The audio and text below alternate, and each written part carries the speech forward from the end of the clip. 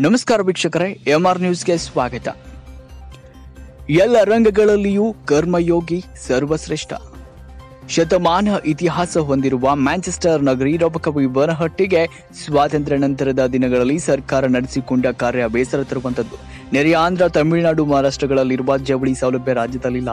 ನೇಕಾರರಿಂದಲೇ ಸೃಷ್ಟಿಯಾಗಿರುವ ನೂಲಿನ ಗಿರಣಿಯ ಮೂವತ್ತು ಎಕರೆಯಷ್ಟು ಜಾಗೆಯನ್ನು ಅಧಿಕೃತವಾಗಿ ಒದಗಿಸುವಲ್ಲಿ ಮೀನಾಮೇಷವೆನಿಸುತ್ತಿರುವುದು ನೇಕಾರರ ಮೇಲಿನ ನಿರ್ಲಕ್ಷ್ಯಕ್ಕೆ ಹಿಡಿದ ಕನ್ನಡಿಯಾಗಿದೆ ಎಂದು ನಿವೃತ್ತ ಪೊಲೀಸ್ ಅಧಿಕಾರಿ ಶಂಕರ್ ಬಿದ್ರಿ ಅವರು ತೀವ್ರವಾಗಿ ನೊಂದು ಹೇಳಿದರು.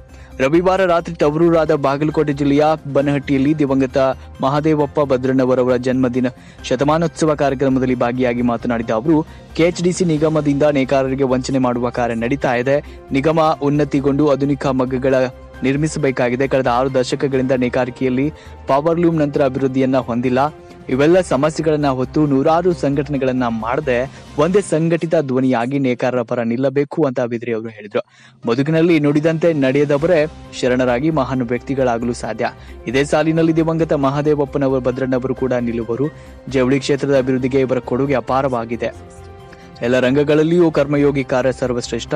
ಹಿರಿಯರ ಸ್ಮರಣೆಯ ಆದರ್ಶಗಳನ್ನು ರೂಢಿಸಿಕೊಂಡು ಬದುಕು ಸಾಗಿಸಿದ್ರೆ ಆಚರಣೆಗಳಿಗೆ ನೈಜ ಅರ್ಥದೊಂದಿಗೆ ಸುಂದರ ಬದುಕು ನಮ್ಮದಾಗಬಹುದು ಅಂತ ಹೇಳಿದ್ರು. ಕಾರ್ಯಕ್ರಮದ ಸಾನ್ನಿಧ್ಯವನ್ನು ಹಿರೇಮಠದ ಶರಣಬಸವ ಶಿವಾಚಾರ್ಯರು, ರಬಕಪಿ ಗುರುಸಿದ್ದೇಶ್ವರ ಶ್ರೀಗಳು ವಹಿಸಿದ್ರು, ನ್ಯಾಯವಾದಿ ಎಂಜಿ ಕೆರೂರ್ ಅವರು ಅಧ್ಯಕ್ಷತೆ ವಹಿಸಿದ್ರು.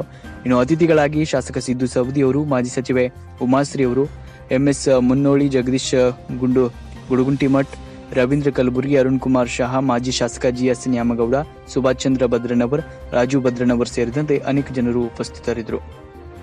ವರದಿ, ಮಲ್ಲಿಕಾರ್ಜುನ್ ತುಂಗಲ್, ಮುಖ್ಯ ವರದಿಗಾರರು, ಎಂಆರ್ ನ್ಯೂಸ್ ಬಾಗಲಕೋಟೆ.